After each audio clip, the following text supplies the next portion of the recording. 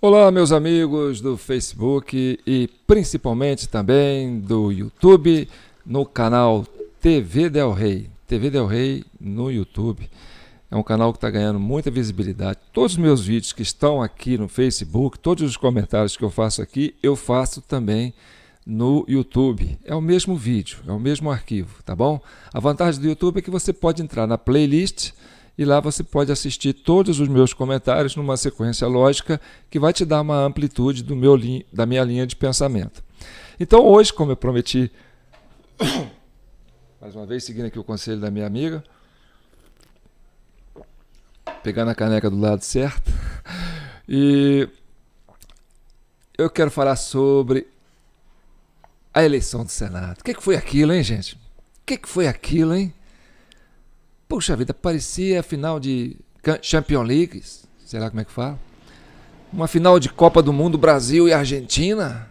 Uma audiência fantástica, o Brasil inteiro acompanhando uma eleição do Senado. E nem tanto a eleição da Câmara, porque o próximo programa vai ser sobre a eleição da Câmara, mas a eleição do Senado virou uma atração mais com mais audiência do que uma final de Big Brother. O que, que foi aquilo? Líderes assim, com com discursos densos, sabe? Como diz um deles, dias difíceis fazem, fazem homens fortes. E aí eu quero voltar a um, a um, a um vídeo que eu fiz antes, que eu fiz campanha por, por Marinho, Rogério Marinho, né? O Rogério Marinho, tendão da esperança. E. desculpa, gente, pô. Começar a falar aqui é foda. E desculpa de novo.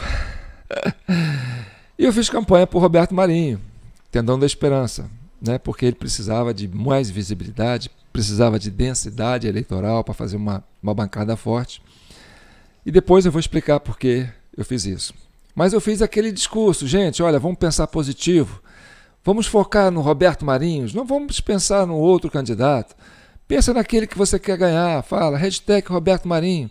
Não faça campanha contra o Pacheco. Mesmo assim, alguém ficava lá, fora Pacheco e tal, mas tudo bem. Né? E por que, que eu fiz isso? Porque eu quis poupar o Pacheco. Por que, que você quis poupar o Pacheco? Porque o Pacheco, além de ser um, um senador de Minas Gerais, ele não é mineiro, mas é um mineiro adotivo. Ele não nasceu aqui, ele nasceu no estado do norte, mas cresceu aqui. Né? Ele respirou o, o ar das montanhas, né? bebeu da nossa água, experimentou do nosso queijo, do nosso pão de queijo, da nossa cachaça. Então, ele ganhou muito de mineiridade. E ele foi muito mineiro nesses últimos mandatos, nesse último mandato dele, nesse, nesse, nesse último biênio. Porque é muito difícil você se equilibrar em uma, uma, em uma polarização. De novo. Em uma polarização tão radicalizada como estava essa. E o mineiro é a arte da conciliação. O mineiro ele tem essa vocação de trabalhar o, o meio termo, o meio de campo. Então ele atendia um lado e atendia o outro. Ele, não, ele sabia que tinha uma polarização e ele não negou guarida para nenhum dos dois. Então, Marinho, meus, minhas considerações para você. Te consider... Marinho não, desculpa, Marinho também, mas nós estamos falando do Pacheco. Tá bom? Depois eu falo do Marinho e falo do, do outro senador que concorreu. Mas enfim, o, o tema aqui é o Pacheco. É, eu separei um trecho do seu, do seu discurso, ó, nove minutos e meio praticamente. Olha como é que você vai ser prestigiado aqui. Mas, João, você vai prestigiar o Pacheco? Pacheco foi um peso para a democracia. O Pacheco travou o Congresso, diminuiu o Congresso perante o Poder Judiciário.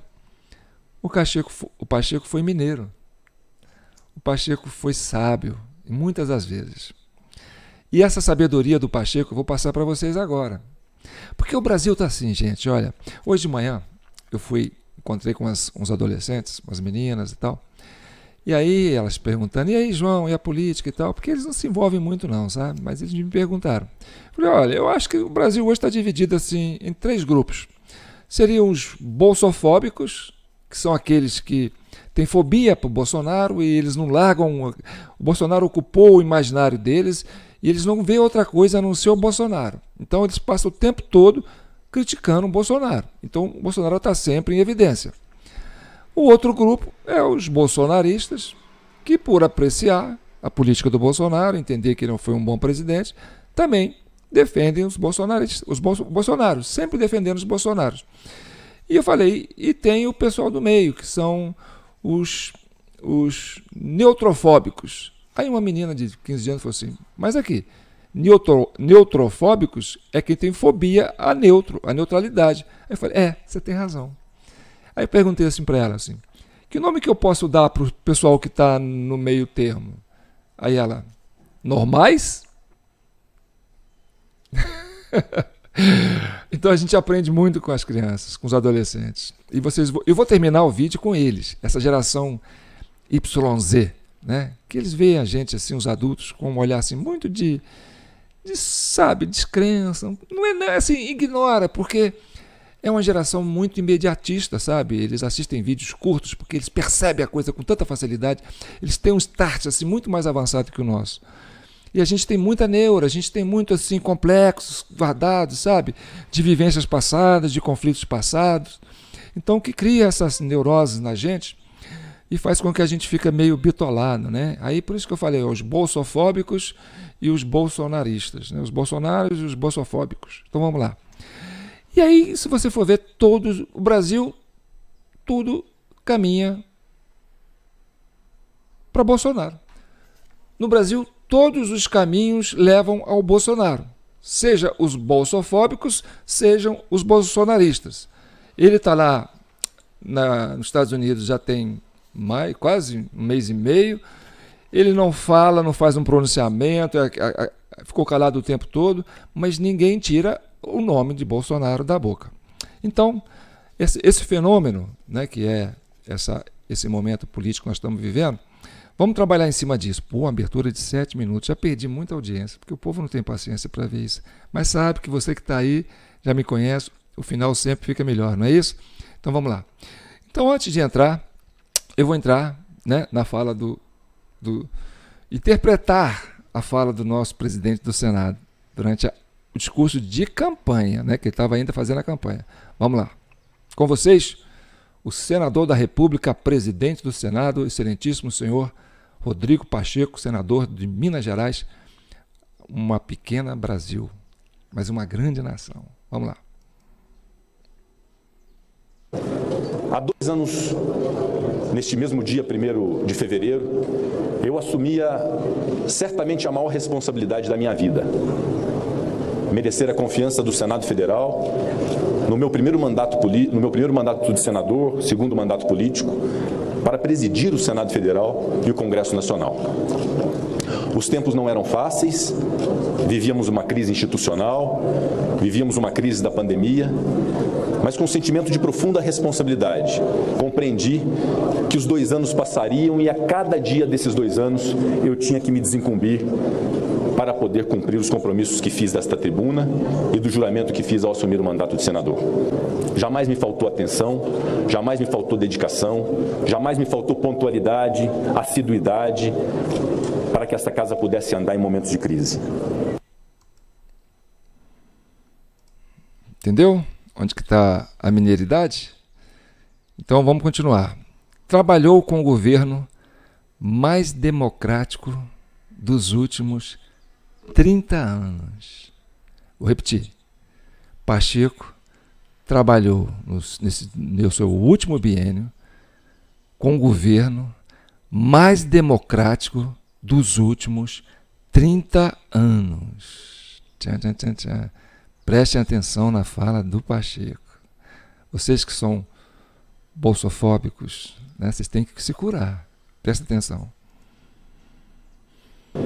e criamos a liderança da bancada feminina no Senado Federal, que fez o maior, maior movimento, extraordinário movimento de defesa dos direitos das mulheres contra a violência política, violência institucional, violência doméstica, violência de todo gênero, discriminação de todo gênero, através dessa bancada feminina. Mas também criei, senhores senadores, a liderança da oposição a liderança da oposição para equilibrar o jogo democrático, porque a oposição, a de outrora e a que virá, merece respeito de um presidente do Senado e de uma Casa Legislativa.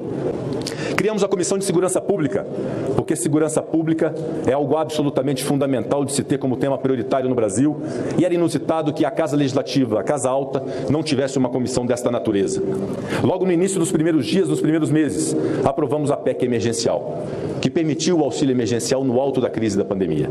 E é bom que a sociedade brasileira saiba que muitas das iniciativas para assistir a população brasileira através de auxílio emergencial, Auxílio Brasil, programa de apoio às pequenas e microempresas, programa de apoio ao setor de eventos, diversos projetos de assistência social nasceram, foram concebidos no Senado Federal. Um Senado absolutamente colaborativo com o governo federal, pauta bomba, perseguição, exigências, chantagens que infelizmente o Brasil se acostumou ao longo de anos a conviver na política isso não aconteceu definitivamente na presidência do Senado, na relação que busquei manter cooperativa com o governo federal e com seus integrantes, com as instituições de governo e com as instituições de Estado. Muitos projetos foram aprovados e aqui digo, com toda a segurança, o biênio mais produtivo da história do Senado nos últimos 30 anos. E repito, cooperativo com o governo federal, porque diversas, inúmeras matérias de interesse do governo foram aqui apreciadas, inclusive no ano de 2022, às vésperas de um processo eleitoral em que tivemos o comprometimento com a sociedade brasileira de aumentar o Auxílio Brasil de 400 para 600 reais, de reduzir o preço dos combustíveis, sacrificando estados a favor da sociedade brasileira, arquivando CPIs que contaminariam o processo eleitoral, que eram tidas como uma pauta nociva e de enfrentamento ao governo. Tivemos, senhores senadores e senhoras senadoras, responsabilidade. Tchan, tchan, tchan, tchan. Viram? O, o governo mais democrático dos últimos 30 anos. Então vou fazer uma pausa aqui e chamar a atenção da, da ministra Carmen Lúcia. Mineira, né, Carmen? Mineira. Né? Vamos lá. Olha, essa excepcional, excepcionalidade que você entendeu que existe e que, em função dessa excepcionalidade, pode se atropelar a nossa Constituição, foi um erro. Foi um erro porque você está na magistratura máxima. Então, isso é um desvio, não de conduta apenas, é um desvio não de caráter apenas, é um desvio psicológico. Sabe por quê? Porque preste atenção: Forças Armadas é uma instituição de Estado. Forças Armadas não é um partido político. Isso não significa que nos quadros das Forças Armadas possamos ter pessoas qualificadas para participar da gestão de um governo e fazer parte dela. Porque as Forças Armadas é uma formação que gera bons quadros para o Brasil. Então é natural. Não quer dizer que ter um presidente militar, nós estamos vivendo um regime militar. Não quer dizer que ter membros né, é, é, elementos que serviram o regime militar incorporados como é, peças no, no processo executivo do governo, que é um regime militar. Não. Entendeu? Tanto que está aí. Foi um governo, quatro anos, 30 anos. O governo mais democrático dos últimos 30 anos. Então vocês têm que curar essa neura. Esse bolsofobismo está fazendo vocês adoecerem estão adoecendo no Brasil. Assim como, por exemplo, Lula falou que criou quase uma centena de universidades. E as universidades é uma instituição de Estado. Ali produz grandes quadros para entrar na administração pública e, e, e fazer né, um, uma contribuição, porque são quadros de excelência. Isso não quer dizer que as universitárias, os reitores, tem que ser governo, Estado, tem que ser partido, né? o partido dos, univers, né? dos, dos cátedros, das, das, né? o partido dos reitores. Então, são instituição de Estados. Assim como também a religião, nós somos um país predominantemente católico, com bastante evangélicos e com várias outras religiões, e que por isso toleramos todas elas porque somos um país democrático. Foi nos quatro anos do Bolsonaro. Isso não quer dizer que o fato de o presidente ser um homem de fé, nós estamos no regime fundamentalista. Não é isso. Ter fé é se identificar com Deus, é se identificar com a população brasileira, que é a maior nação católica do mundo. Então não, não é uma, um, um governo fundamentalista. São pessoas. Pessoas que têm sentimento, que têm fé, que têm princípios. Entendeu? O fato da, da OAB produzir grandes juristas que contribuem de uma certa forma para o entendimento né, do, do grossário, do, do judiciário, também não deve pensar em ser governo. A gente não pode tentar entender que uma ditadura da toga possa impor uma vontade acima da Constituição, em função de um excepcionalismo que é psicológico. Assim como a classe trabalhadora, que produz grandes líderes sindicais e que, por estar na base da sociedade, possa ser um intermediário, interlocutor dos anseios dessa classe, né, da base da, da nação, com a cúpula da sociedade. E eles podem compor o quadro administrativo de um governo sem que a gente tenha aí uma ditadura do proletariado. Vocês estão entendendo? Então, é preciso vocês curarem essas, esses traumas do passado. A gente não pode viver de preconceitos, porque preconceitos, além de crime, é uma doença emocional. Você não pode achar que o que está aqui hoje é o que esteve antes. Porque o conceito é uma coisa, o preconceito ele é anterior ao conceito de hoje. Você não pode transferir para hoje um conceito antigo e, e, atribuir esse conceito a, esse momento. Entendeu? Ministra Carmen Lúcia. Espero que os outros ministros também entendam isso. Então vamos continuar com o nosso senador da República, Pacheco Mineiro, presidente da Câmara Alta. Os desafios diante da desinformação, tanto de um lado como do outro. Vamos lá. A responsabilidade que deve ter alguém que senta naquela cadeira, que não pode se render à demagogia, que não pode se render ao populismo, que não pode se escravizar pela desinformação de redes sociais, que não pode se escravizar pela manipulação, por vezes, da mídia em relação a determinados temas. É preciso ter coragem para ser presidente do Senado e enfrentar os desafios que isso representa.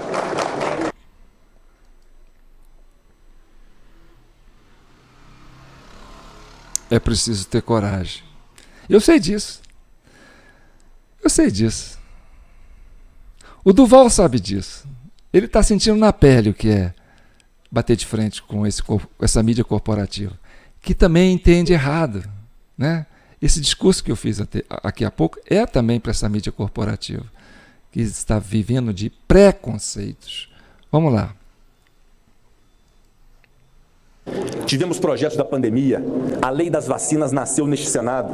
Aprovamos todas as medidas provisórias inerentes ao combate à pandemia, vindas do governo federal, porque tínhamos esse compromisso com a sociedade brasileira e tínhamos esse compromisso também com colegas senadores que morreram de Covid. Tivemos a cautela ambiental e era preciso enfrentar esta pauta e ter cautela com ela para que a situação da imagem do Brasil não se agravasse.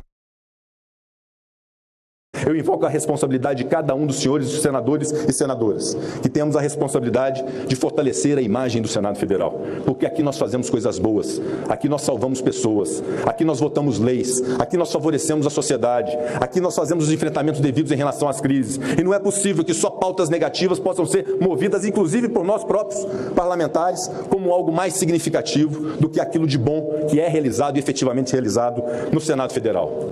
Temos compromisso para o futuro defender a prerrogativa dos senadores e as condições plenas para o exercício de seus mandatos. Neste último biênio, sob a presidência do Senado, tivemos respeito aos senadores. E qualquer senador que sofrer algum tipo de perseguição, de retaliação, de revanchismo ou algo que o valha, merecerá pronta resistência do Senado Federal, seja contra quem for porque os senhores são eleitos pelos seus estados, têm suas prerrogativas, têm as suas imunidades e serão defendidas pela presidência do Senado, porque isso é obrigação de um presidente do Senado. E como é bom, depois de dois anos como presidente do Senado, ver esse plenário cheio para que possamos aqui dialogar de forma amistosa, respeitosa, que é o que definitivamente deve haver numa casa legislativa. Encontrar pontos que nos unem, encontrar pontos que nos convergem e que as divergências sejam exercidas com respeito. Respeito à divergência é pilar da democracia. Viu? É hora de engrandecer a Câmara Alta. É hora de engrandecer o papel do Senado. É hora do Senado se fazer presente. E aí eu chamo a atenção de você, mineiro, mineiro adotivo, meu querido Pacheco, que preste atenção nos movimentos que estão sendo feitos contra um dos seus pares, que é um homem sério, um homem de bom senso, que não é nem bolsonarista, que não é nem lulista, que é um homem preocupado com o país. E ele está aí com um um documento para ser protocolado, para criar uma CPI, que é coisa séria e que você deve levar a sério, porque isso não é brincadeira, tá bom? Nós estamos no extremismo e a gente precisa resolver essa questão para sarar o Brasil. Não é para enfrentamento, é para sarar o Brasil. Então dê atenção ao Pacheco. Mostre que você aprendeu com os ares das alterosas. Vamos continuar. Teremos desafios de matérias importantes para o Senado Federal. Primeiro, a de não deixar retroceder conquistas importantes do Parlamento brasileiro. Eu, como deputado, votei em várias delas. Como senador, também votei em várias delas. E como presidente do Senado, também aprovei várias delas. E não gostaria que houvesse retrocesso. Aprimoramento sempre, retrocesso nunca. E temos um desafio agora pela frente: a reforma tributária, um novo arcabouço fiscal, porque não podemos admitir que se continue a arrecadação confusa do sistema tributário brasileiro, tampouco podemos permitir que se acabe com a responsabilidade fiscal no nosso país, que é uma conquista da modernidade, e nós temos que garantir que se combata a gastança desenfreada do Estado brasileiro. E a propósito de Estado, que busquemos o Estado necessário, o enxugamento da máquina, arrecadação sustentável, corte de gastos públicos e temos que cobrar o governo federal corte de despesas. Viu? Prestou atenção? Vamos manter o legado do governo Bolsonaro. Por isso que eu falo, no Brasil todos os caminhos levam ao Bolsonaro. Eu sei que dói para alguns, vocês estão ainda sob efeito de hipnose. Quando fala Bolsonaro, vocês travam. Mas isso com o tempo vocês vão sarar. Tenho certeza. É uma questão de tempo. Vamos lá. Temos responsabilidade em relação às informações. O projeto que disciplina o marco legal das plataformas digitais, já aprovado nessa casa, é preciso que haja a aprovação definitiva, porque definitivamente isso não interessa absolutamente ninguém, muito menos ao Brasil. É definitivamente inconcebível que a gente viva hoje no palco da desinformação. No palco da desinformação manipulada. É preciso que nós tenhamos responsabilidade em relação a isso. Aí que você desafinou. Aí eu, eu fiz questão de colocar esse ponto. Sabe por quê, Marinho? É, Pacheco. ah, o mineiro tem um compromisso com a liberdade. E aí a gente entende que porque você foi um mineiro adotivo, você não tem sangue mineiro, você tem alma mineira conquistada ao longo do seu, né, do seu momento vivido aqui em Minas Gerais. Então, saiba de uma coisa: essa resistência você vai ter em Minas e no Brasil inteiro. A liberdade plena. Nada de colocar camisa de forca na internet, tá bom? Olha, eu vou te dar um exemplo. Vocês estão aí, tira generais, põe generais, troca generais, mexe para lá, mexe para cá. Aí o Lula indica um general. O primeiro discurso do general, sabe qual que foi? Nós estamos vivendo um excesso de informação. E para combater esse excesso de informação, só tem uma, um remédio, só tem uma solução: é mais informação. Não é menos informação, é mais informação. Por isso que eu falo que o Exército é uma instituição de Estado, não é um partido político. Você pode mexer as peças, tirar um, um, um general aqui, um general ali, você não vai achar general melancia. Você vai achar uma instituição sólida, uma, uma, uma instituição que tem um princípio básico, que é zelar pela liberdade do povo brasileiro, zelar pela integridade territorial, zelar pela independência, pela soberania né, de um país grandioso como é o Brasil. Então possa, podem estar certo disso. Se tiver uma fissurazinha nas Forças Armadas, o Brasil desmorona. Então pode ter certeza, é uma instituição sólida. E acreditem nisso, vocês que ainda têm a dúvida. Nós estamos resolvendo a coisa do jeito certo, no parlamento.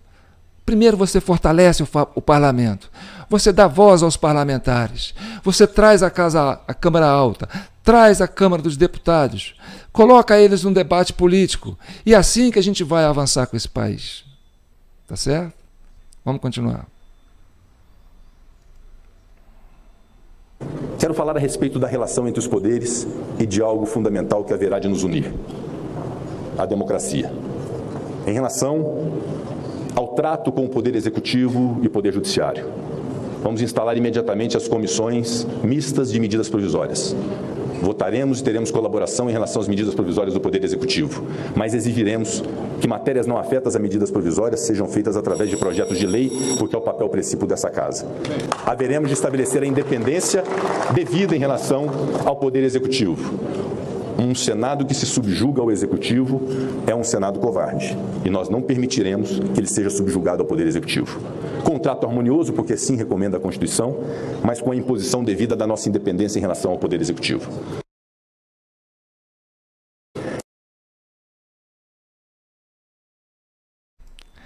Esse é o discurso certo. Independência do Poder Legislativo. Independência da Casa do Povo autonomia dos nossos representantes, soberania dos nossos representantes, independência de todos aqueles que representam seus representados e que possam falar em nome deles. É isso aí. É isso aí. Não se curvar a grupos, a interesses. Não é porque o, o governo tem ministros que são eleitos aí entram lá para votar, para te eleger, que vai achar que vai, vai interferir no, no, legisla, no, no, poder legislativo, na casa do povo. Essa é a democracia que a gente quer. Aí é que está a força desse país. Isso tem que voltar a ser uma instituição que tem o seu, o seu papel dentro da sociedade. Deixa de ser, entendeu? Esses boca mole que jogam conversas ao lento. Vamos lá. Tô apostando você, hein, rapaz. Não vai decepcionar, não. Em relação ao Poder Judiciário, e muitos são os motivos de reclamações em relação à relação com o Poder Judiciário e o Supremo Tribunal Federal. Afirmo e devo dizer que, diferentemente do que sustentam de revanchismo, de retaliação, de possível enquadramento ao Poder Judiciário, que dá a palavra final aos conflitos sociais e jurídicos, nós devemos cumprir o nosso papel verdadeiro, o de solucionar o problema através da nossa capacidade e do nosso dever de legislar. Vamos legislar para se colocar limites aos poderes. Se há um problema. Um minuto para concluir. Se há um problema em relação às decisões. Vocês viram ali? Foi só falar do Poder Judiciário, já começaram a tentar cortar o homem. É, ali tem um embate, aí tem uma coisa, sabe, engasgada. É aí que está o gargalo. Vamos continuar vendo. Interessante, né? monocráticas do Supremo Tribunal Federal, legislemos se colocar limite. Vamos amendamento ao Poder Judiciário, que dá a palavra final aos conflitos sociais e jurídicos. Nós devemos cumprir o nosso papel verdadeiro, o de solucionar o problema através da nossa capacidade e do nosso dever de legislar. Vamos legislar para se colocar limites aos poderes. Se há um problema.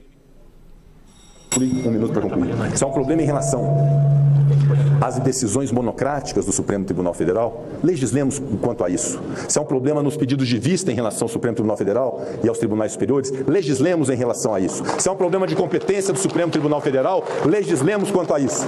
Eu próprio sou um autor de uma proposta de emenda à Constituição que suprime a competência em matéria penal do Supremo Tribunal Federal, extinguindo o recurso especial e recurso extraordinário, perdão, em matéria penal no âmbito do Supremo Tribunal Federal. Legislemos. Como podemos legislar, e essa é uma discussão sadia e honesta, e disse ontem numa entrevista, legislemos sobre a limitação temporal da ocupação de ministros de tribunais superiores e do próprio Supremo Tribunal Federal. Essa é uma discussão possível, essa é uma discussão sadia, essa é uma discussão que não caracteriza revanchismo e retaliação. Vamos trazê-los à discussão e enfrentarmos os problemas, os Senador, limites entre os poderes e dessa Rodrigo, estabilidade. Senador Rodrigo Pacheco, para concluir, para concluir mesmo. Obrigado.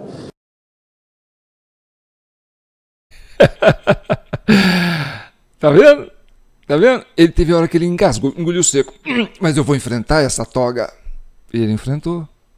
Ele é um representante de Minas. Minas sabe ouvir o mundo, Brasil, sabe? Pacheco, estou apostando em você. A busca da pacificação do país. Vamos encerrar, vamos encerrar, Pacheco. Vamos nos dar as mãos, definitivamente, para que o Brasil pacifique e que as divergências fiquem no campo sadio da política. Bem, depois que eu, que eu dei esse aval para o Marinho, eu quero ser rápido, né? Porque não posso deixar de perder essa audiência que eu já tenho. Quem chegou até aqui tem que ser presenteado com alguma coisa boa, né? Eu vou falar dessa menina aqui, ó. Essa menina aí, ela se chama Fernanda Valente. Ela é estudante amapaense ela tinha 14 anos, isso foi em 2014. Ela foi vencedora da etapa nacional do, da 43ª edição do concurso internacional de redação de cartas. Ela, na época, disse já ter lido 65 livros. A adolescente é aluna de uma escola, foi aluna de uma escola privada localizada no bairro Buritizal, na zona sul de Amapá. Eu vou ler a redação dela. Vocês vão ficar emocionados. Se eu chorar, vocês não não não, não estranho, porque eu sou emotivo. Então vamos lá. Ela escreveu assim: ó. Certa noite, ao entrar em minha sala de aula, vi no mapa mundi o nosso Brasil chorar. O que houve, meu Brasil brasileiro? Perguntei-lhe. E ele, espreguiçando-se em um berço esplêndido, esparramado e verdejante sobre a América do Sul, respondeu chorando, com suas lágrimas amazônicas: Estou sofrendo. Vejam o que estão fazendo comigo.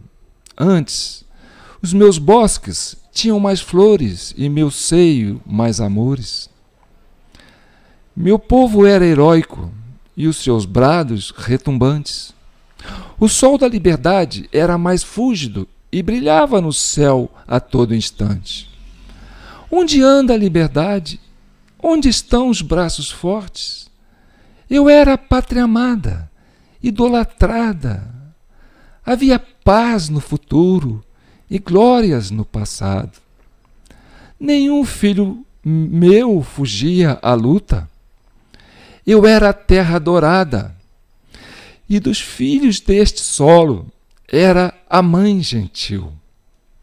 Eu era gigante pela própria natureza, e hoje devastam e queimam, sem nenhum homem de coragem que as margens plastas de, de algum riachinho tenha a coragem de gritar mais alto para libertar-me desses novos tiranos que ousam roubar o verde louro da minha flâmula. Eu, não suportando as chorosas queixas do Brasil, fui para o jardim. Era noite e pude ver a imagem do cruzeiro que resplandece no lábaro que nosso país ostenta estrelado. Pensei, conseguiremos salvar esse país sem braços fortes? Pensei mais. Quem nos devolverá a grandeza que a pátria nos traz? Voltei à sala, mas encontrei o mapa silencioso e mudo como uma criança, dormindo em seu berço esplêndido.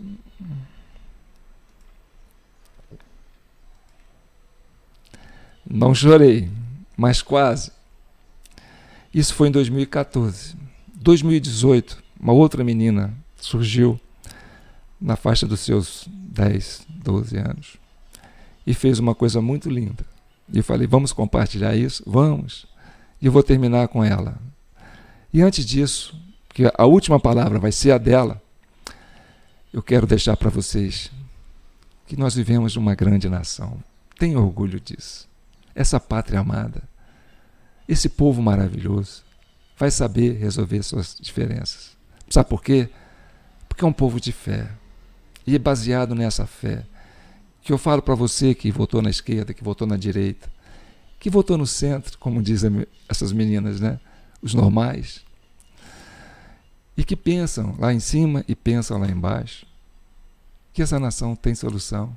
E nós vamos ser, ainda, por muito tempo, a locomotiva da América Latina a maior potência da América do Sul, uma referência para o mundo, de um povo criativo, soberano, feliz e abençoado por viver nesse berço esplêndido. Então, essa geração Z, essa geração Y que está aí, está cagando para essas merda que a gente fala e que a gente faz, porque eles são imediatistas, eles são futuristas. E é deles esse universo, esse país. O futuro é deles. E nós, adultos, tiramos esse ranço das nossas costas, esse passado que nos deixou marcas, e passamos a pensar no conceito sem preconceito. E miremos nessa geração que vem por aí. Então, com vocês, a geração Z. Você já escolheu seu candidato para o governador, presidente? Comente com seus amigos. Debata com seus parentes. Mas não perca a estima dos outros cada um com sua razão. Não jogue fora um amigo por causa de uma eleição. Vote com fé e segurança, que a escolha seja consciente, mas respeitando o do lado se ele pensar diferente. Não queira incutir a força, a sua ideologia. O que é mentira hoje já foi verdade um dia. Defenda a sua bandeira, sem ódio e intolerância. O fanatismo te cega, te deixa na ignorância. Por isso tudo eu te peço do fundo do meu coração, não troque seu amigo por causa de uma eleição. Por isso tudo eu te... Tá bom, por isso tudo eu te peço. Vai. Pode ir? Pode. Por isso tudo eu te peço. Não, eu vou pensar.